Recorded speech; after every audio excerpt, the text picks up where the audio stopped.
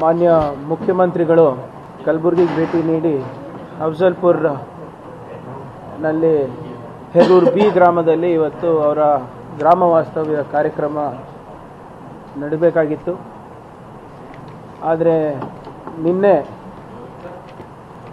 ನಿನ್ನೆ ನಡೆದಂಥ ಧಾರಾಕಾರವಾದಂಥ ಮಳೆಯಿಂದ ವರುಣನ ಆರ್ಭಟದಿಂದ ಇವತ್ತು ಅನಿವಾರ್ಯವಾಗಿ ಗ್ರಾಮ ವಾಸ್ತವ್ಯವನ್ನು ನಾವು ಮುಂದೂಡಬೇಕಾಗ್ತಾ, ಮುಂದೂಡಬೇಕಾಗಿದೆ.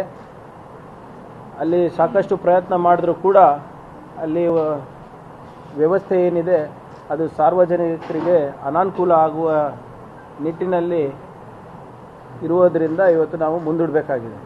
ನಿನ್ನೆ ಮಳೆ ಬರೋದರಿಂದ ಅಲ್ಲಿ ಇರುವಂಥ ಏನು ಸ್ಟೇಜ್ ಅದು ಇದಕ್ಕೇನು ತೊಂದರೆ ಆಗಿಲ್ಲ. ಯಾಕಂದರೆ ನಾವು ಆಗಲೇ ಅದು ವಾಟರ್ ಪ್ರೂಫಿಂಗ್ ಮಾಡಿಸ್ಕೊಂಡಿದ್ವಿ. ಮುಂಚಿದಕ್ಕೂ ಮುಂಚೆನೂ ಕೂಡ ನಾವು ಹವಾಮಾನ ಇಲಾಖೆಯಲ್ಲಿ ನಾವು ಕೇಳಿದಾಗ ಯಾವುದೇ ರೀತಿಯಾದಂಥ ಮಳೆ ಸಂಭಾವನೆ ಇಲ್ಲ ಅಂತಲೇ ನಮಗೆ ಸೂಚನೆಗಳಿತ್ತು.